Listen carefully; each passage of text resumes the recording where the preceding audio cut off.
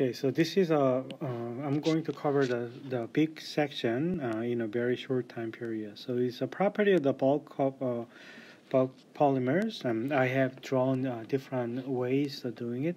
Basically, it's trying to understand the stress strain curve of the polymers, and also that is related to the something called the yield and crazing, and shear band formation or crazing and also cold drawing, depending on whether it's a glassy polymer or a semi-crystalline polymers. Uh, uh, also, uh, for the viscoelasticity, which is more like uh, uh, related to the relationship between in a melt, uh, there is enough elasticity combined with the viscosity and then there is a, something that is related to the, what is the subject called the rheology. Uh, this is a very long subject. Uh, I just wanted to focus on give you some molecular perspective and uh, get you to the used to the basic languages on this. So let me. Uh, this first section is I'm going to talk to you about the stress strain curve, and then this is an introduction part. And this is a figure from the textbook. Uh, the, this is a strain, and this is a stress. Okay, so stress goes uh, goes increasing this way, and strain goes increasing in this the other way. And uh, the one good reference point is uh, this is a this is a what typically what glassy polymer looks like. And uh, when you have a semi-crystalline polymers, uh, they usually have this a little mini peaks, and then there's a kind of flat region, and finally they they kind of stiffen up at the end. And this behavior is uh, what is called a cold drawing of the semi-crystalline polymer that I'm going to talk to you. Uh, elastomer is uh, essentially has a very large strain elongation until they break, whereas the slope is uh, much shorter than that. And then people also uh, study the elongation of almost like a single crystal, very uh, highly crystalline uh, polymer crystals, uh, fibers, when they do that, and it's a much uh, steep rise in the stress uh, with a small strain. So uh, this uh, slope here is what we call the modulus. And if this is a tensile, and we call the Young's modulus. Okay, and usually the symbol is using as a E here. Okay, so uh, let's go back to your high school 101 days when probably you first learned about the Hookean spring. So, so you you learn about this is a Hookean spring, and then the uh, these are the two different slope, and each slope is represented by k, and uh, this is a force force is a unit of Newton. This is an x, I guess a unit of length, which is a meter. And the force constant is K, F equal Kx. That's a Hookean spring, right? Which is a representative of a spring, which is a well known as a spring when you when you trying to stretch this one by x and the spring constant K. Uh, it can be represented by this. So it is a now spring constant K has a unit of Newton per meter, and that is a characteristic for the spring. Okay, what about the materials uh, using the same kind of a concept? So I'm going to do the same kind of plot, x, x versus y plot, but this time I am going to make it as a stress. Okay, so you can you can kind of uh, looking at what is shown up there, stress, and they're using the symbol sigma and the stress is as a unit of Newton per square meter, okay, which is also known as a Pascal. Okay, so that's a unit of the stress, and also uh, the what is called the strain is the inner place of the displacement, and that is uh, usually use a epsilon is uh, using the symbol, and it has a unitless. So sometimes they're just using for the L as, as their unit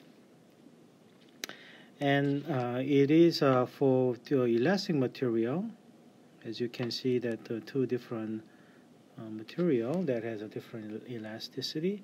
This one, the slope here is what we call the Young's modulus. Okay, so the E is a slope, and that is a Young's modulus.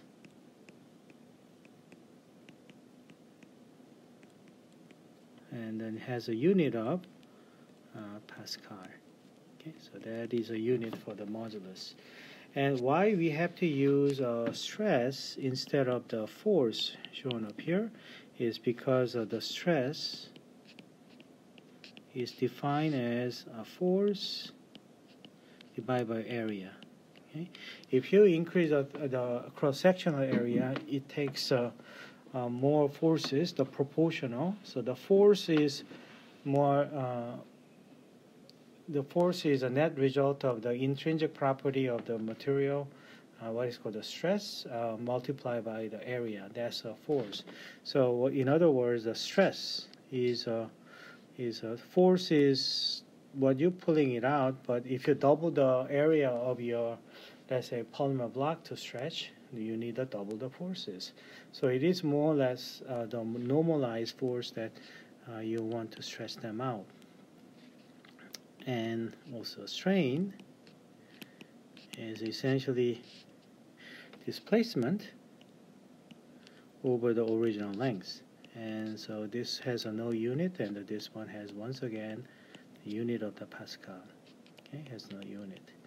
And now it's going to be an important one for the elastic, as you can see, shown even shown up here as a spring. For the material, you can start to see that people say, okay, this is a uh, elastic material has, that has a uh, the the Young's modulus of E value, and then then the, you you get to see that okay, stress is Young's modulus multiplied by epsilon. So this will be uh, something that will be uh, unique uh, one of the constitutive equation for defining the elastic material.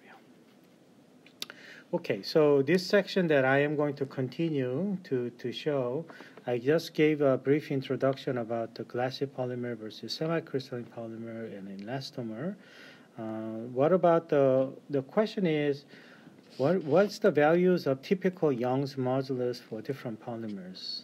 And so what are the typical values? The one good reference point for you to remember is the glassy polymer. The Young's modulus is about 10 to the 9 uh, Pascal, and so what we call the uh, 1 gigapascal. So 1 gigapascal is a glassy polymer's uh, Young's modulus. What about the elastomer? The elastomer, on the other hand, is a soft. The elastomer's Young's modulus.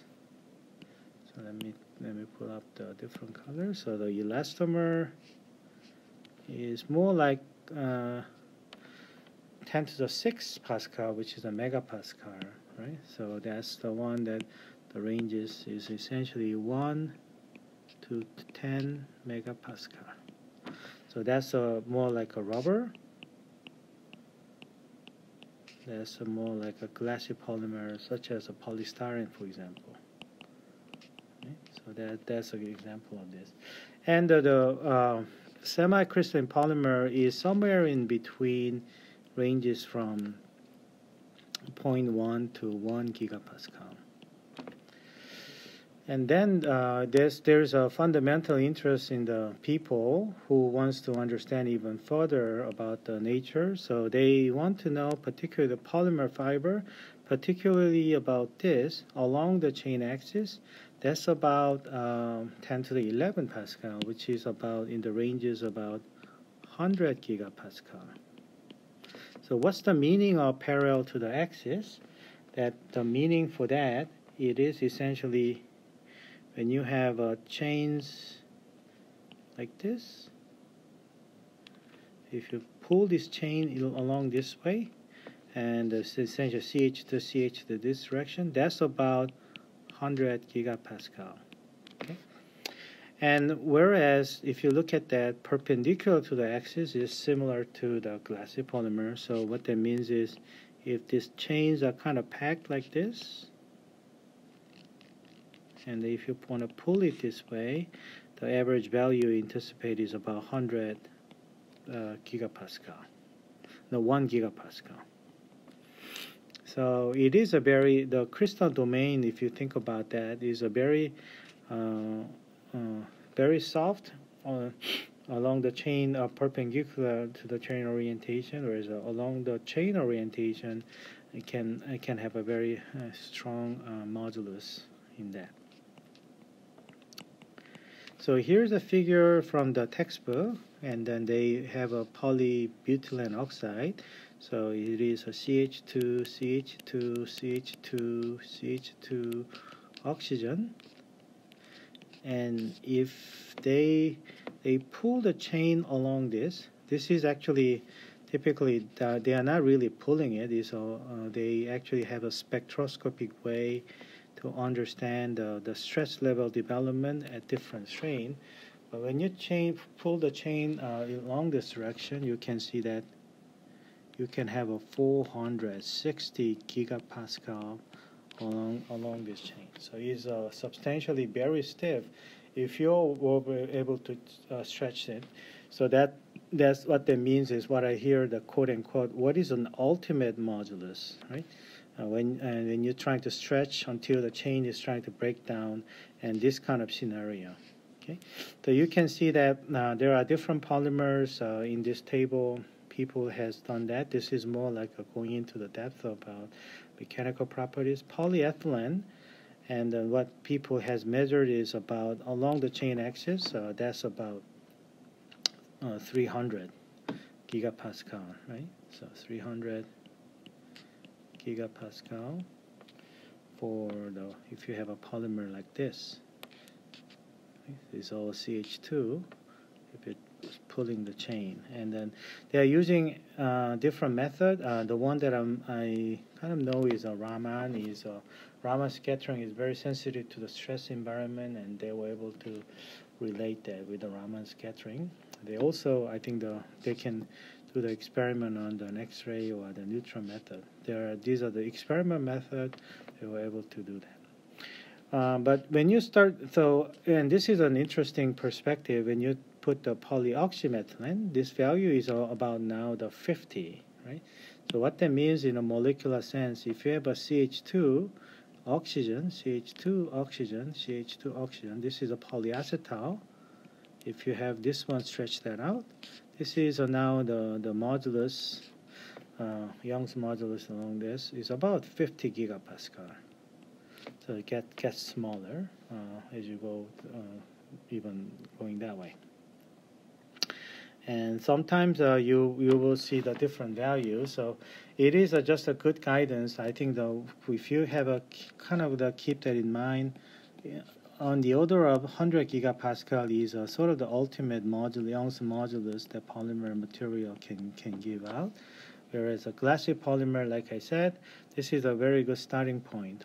Something like a polystyrene is a 1 gigapascal, that's a modulus. Uh, this one um, can provide it as a, as a polymer molecule. So then the natural question that we can have is, okay, for the real polymers, if I change my elastic, the crystallinity, and there, there are two examples. The, this is a, example A, and this is example B. And example A is a natural rubber, and the retro rubber is actually due to the uh, cis uh, geometric isomer regularity, they can actually form the crystalline domains. By increasing the crystallinity, and there is a chance for you to pull the chain along the, the chain axis, uh, and then your modulus start to go up. But you know the, the overall, unless big overall the chains are randomly oriented, so it, crystallinity will have some impact uh, in that regard. If you look at the polyethylene upon different crystallinity, this is a modulus, and the Young's modulus is ranging from the one gigapascal to let's say, you know, at mass the five uh, 5 gigapascal. And uh, remember, uh, if, if, you, if you are able to pull the chain along this, you know, uh, the really well uh, along this uh, chain axis direction and theoretical value,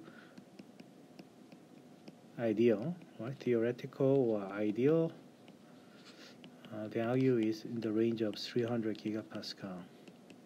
So this is uh, uh, because of the many random orientation. But the higher the uh, crystallinity, the um, the higher the Young's modulus you, you will have, and that just uh, uh, you you have a much more uh, chain chains are getting more compact, and then the you is the modulus is dependent on the overall crystallinity of the sample.